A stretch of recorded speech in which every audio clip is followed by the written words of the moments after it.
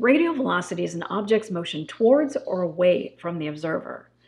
Generally, away from the observer is given as the positive direction.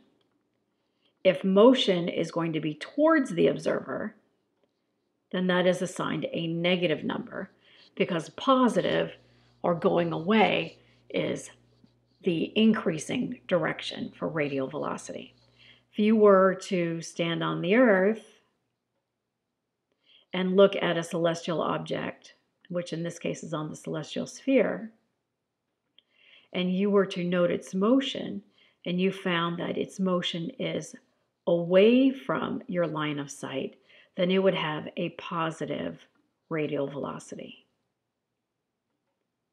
Radial velocity is a real unit where it's measured in units of length per unit time. For example, kilometers per second. You're actually measuring a length unit per unit time.